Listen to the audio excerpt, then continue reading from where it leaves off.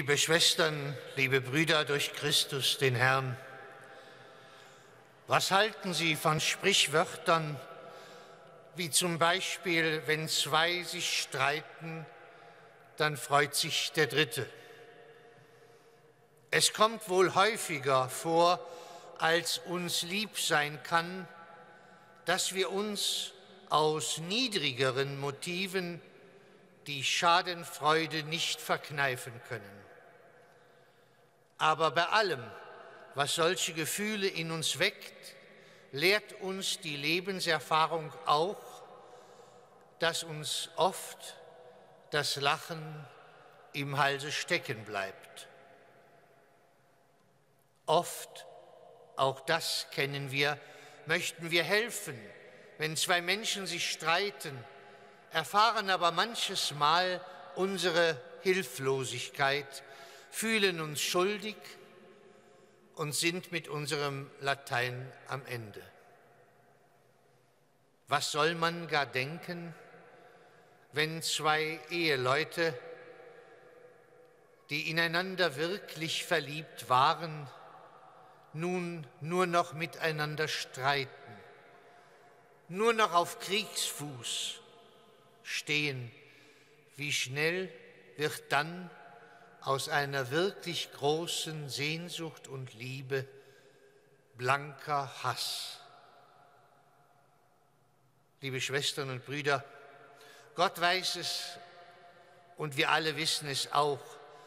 Wenn so etwas geschieht, dann gilt es für uns als Priester, ja für die Kirche insgesamt, vorsichtig zu sein Manchem fällt dabei ein anderes Sprichwort ein, Schuster, bleib bei deinem Leisten.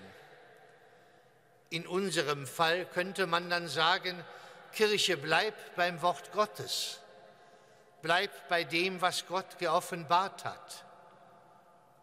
Also deutlicher gesagt, rede uns nicht einfach gefühlsmäßig in die Ehe hinein. Wenn wir an die zweite Lesung des heutigen Tages denken, dann müssen wir zugeben, dass der heilige Paulus sich an diesen Ratschlag nicht gehalten hat und nachweislich Jesus auch nicht.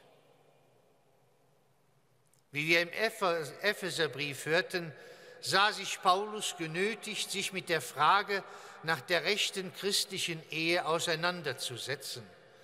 Das hat er auch mutig versucht. Aber unsere Frage heute ist ja, ob wir mit seiner Antwort, mit dem, was er dargelegt hat, noch etwas anfangen können oder ob wir innerlich dicht machen. In der Tat, es riecht ein wenig nach Sakristei und nach Weihrauch. Für viele sind die Worte aus der heutigen zweiten Lesung, die ja nur einen einzigen Halbsatz in der Mitte haben, Anlass innerlich abzuschalten und nicht mehr richtig zuzuhören. Ihr Frauen ordnet euch euren Männern unter. Bei Paulus heißt es aber wörtlich, wie die Kirche sich Christus unter geordnet hat, so sollen sich die Frauen den Männern unterordnen. Und direkt schließt Paulus an, ihr Männer liebt eure Frauen, wie Christus die Kirche geliebt und sich für sie hingegeben hat. Und Paulus geht noch weiter, wenn er schreibt, darum sind die Männer verpflichtet, ihre Frauen so zu lieben wie ihren eigenen Leib. Wer seine Frau liebt, der liebt sich selbst.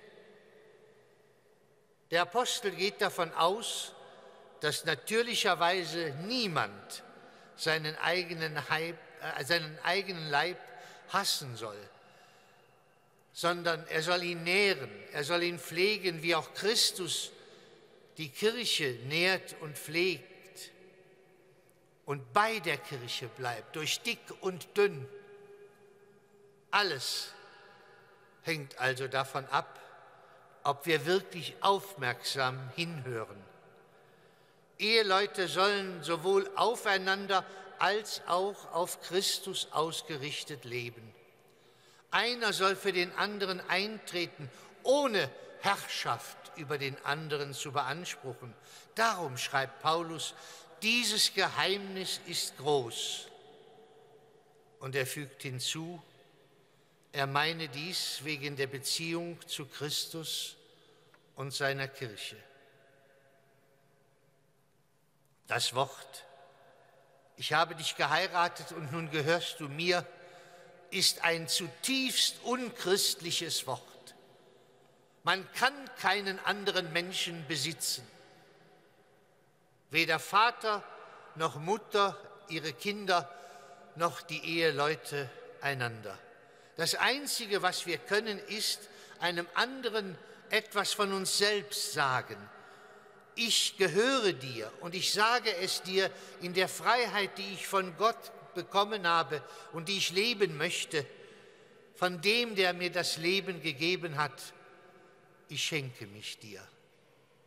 Nicht haben, sondern geben. Für einen anderen eintreten, wie Mann und Frau in der Ehe es tun sollen, ohne Herrschaft über den anderen zu beanspruchen, kommt ja vielen Menschen angesichts der gelebten Wirklichkeit wie eine große Utopie auf, vor. Auch hier gilt Ja und Nein. Ja, weil es schwer zu sein scheint, miteinander zu leben, ohne dass der eine den anderen unterdrückt. Aber es gilt auch das Nein. Und dieses Nein gilt nicht nur, weil so viele Menschen aus guten Gründen heutzutage nach Emanzipation, nach Befreiung rufen. Eine partnerschaftliche Beziehung in der Ehe, in der keiner den anderen sich unterjocht, ist aber schon deshalb keine Utopie, weil es keinen einzigen Tag auf dieser Welt gibt, weder in der Zivilgesellschaft noch in der Kirche noch in unseren Familien, wo nicht ein Mann, eine Frau um die Ehe kämpft. Vor wenigen Wochen, am 5. August, hat Papst Franziskus bei seinen Generalaudienzen, die ja im August in Rom eigentlich sonst nicht sind, wegen der Hitze. Er hat angefangen, auch mit Blick auf die kommende Synode über Ehe und Familie etwas zu sagen, was uns vielleicht nachdenklich machen kann. Er sagte, wie können wir denen beistehen, die nach einem endgültigen Scheitern ihrer Ehe eine neue Verbindung eingegangen sind? Eine solche Situation widerspricht dem Sakrament der Ehe. Das ist wahr. Umso mehr begegnet die Kirche diesen Menschen mit einem mütterlichen Herzen und sucht, angeregt vom Heiligen Geist, das Wohl und das Heil der Personen. Möge es so sein, wird mancher hinzufügen. Um der Liebe willen und zur Wahrheit verpflichtet, hat die Kirche darauf zu achten, die verschiedenen Situationen genau zu unterscheiden. Und da beruft sich Franziskus auf Johannes Paul II. in seinem Schreiben Familiaris Consortio und die Person, die die Trennung hinnehmen musste, dass sie anders zu beurteilen sei als die, welche die Trennung hervorgerufen hat schauen wir doch einmal mit den Augen der Kinder, so Papst Franziskus, auf die neuen Verbindungen. Wie können wir die Eltern aus dem Leben der Gemeinschaft der Kirche ausschließen, wenn ihre Kinder ihr Vorbild eines gelebten Glaubens annehmen sollen? Und dann fährt er fort in unseren Tagen ist das Bewusstsein der Kirche noch tiefer gewachsen, dass eine aufmerksame und brüderliche Aufnahme dieser Getauften nötig ist. Sie sind nicht exkommuniziert, sie sind ein Teil der Kirche. Alle Christen sind eingeladen, den guten Hirten nachzuahmen und wie er den Verletzten nachzugehen.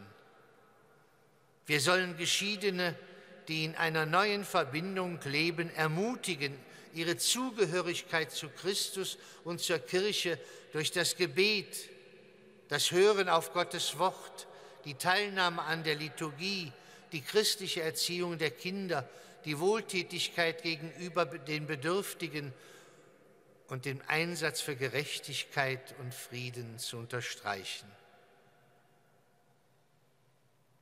So nachdrücklich unser heiliger Vater. Und wir, wir alle haben wohl Grund genug, uns ganz neu einzulassen auf das, was wir die Liebe Christi nennen dürfen. Seine Liebe zur Kirche, seine Liebe zu dir und zu mir. Und wie das ist mit dem Fleischwerden, dem Einfleischwerden, von dem Paulus auch gesprochen hat, wofür man Vater und Mutter verlässt, dass wir so wie Christus darüber denken, aus Liebe, die er zu uns hat. Gott möge uns helfen. Amen.